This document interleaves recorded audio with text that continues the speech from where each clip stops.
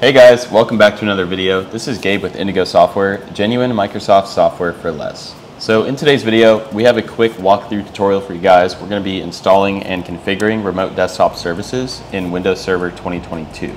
Now we're also going to be releasing tutorials for this in the future for older versions of Windows Server, so definitely stay tuned for those. Now before we get started, if you're interested in purchasing RDS for your server, we offer those at a fraction of the normal cost and you can find links for that in the description box below. So without further ado, let's get started.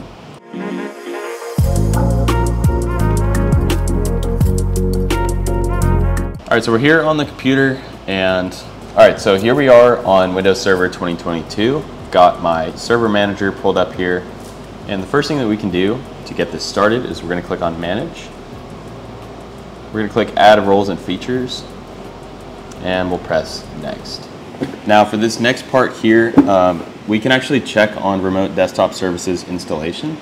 It's only going to let you do that if you already have an Active Directory domain currently set up, which I do not. And so for the purpose of this tutorial, I'm going to set this up and configure it solely for this machine, and there's going to be no other servers involved. Um, but the rest of the steps should be pretty much the same. So I'm going to keep it at role-based feature installation. We're going to press next, make sure our server is selected, press next again. And then here it says remote desktop services.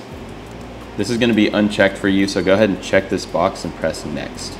And then underneath remote desktop services, this will actually probably be on the next page for you.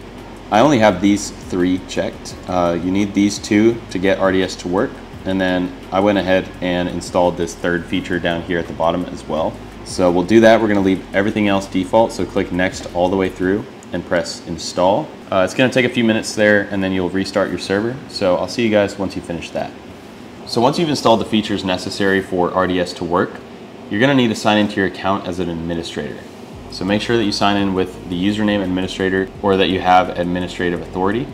Go ahead and sign into the server and at this point we can click on tools and then next to remote desktop services this is where we can activate our license. So by default, you'll get 120 days of, of kind of like a trial period where RDS will work. And it's definitely recommended that you install a valid license before that 120 days is over. Again, check out those links in the description box below if you haven't purchased it already. Now, if we were gonna activate it, we can click on Remote Desktop Licensing Manager here. And then right clicking on the server, we can click on Activate Server. Click Next here, automatic connection. And then if you input your information here, uh, follow along with the setup wizard and you can go ahead and get this activated. All right, moving on to the next step, we're gonna actually configure some user accounts here.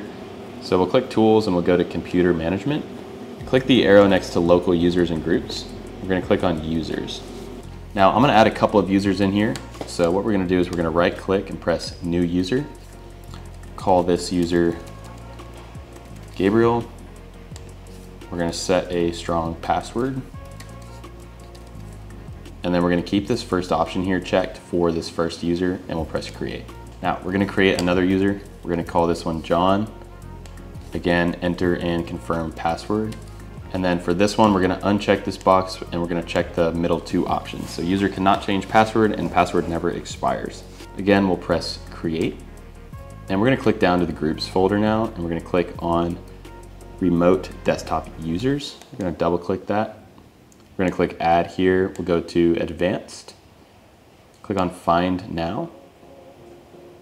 And we wanna go find those two users that we just created. So there's one.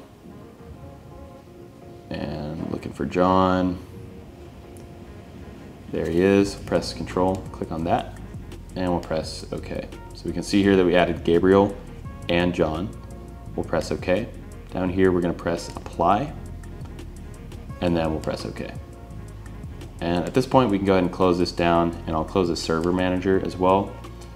And then let me just minimize this so you guys can see.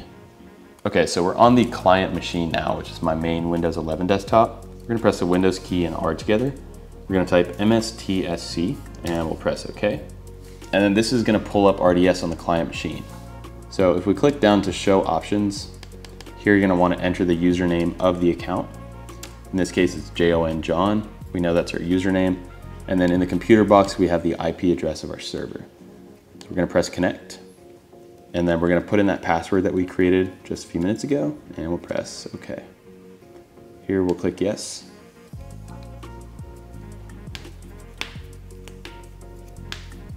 And just like that, we have successfully connected to the server via remote desktop services. So I can close this off to stop the operation. And we'll go ahead and close down the server as well. All right guys, so that's gonna do it for today's video. If you guys have any questions about that process, drop those in the comment section below and we'll get back to you as soon as possible. If you found the video helpful, we really appreciate a like, comment, subscribe, and share. And again, if you're interested in purchasing RDS for your company or other Microsoft software at a fraction of the normal cost, check those links in the description box below. So thanks for watching, and we'll see you guys in the next video.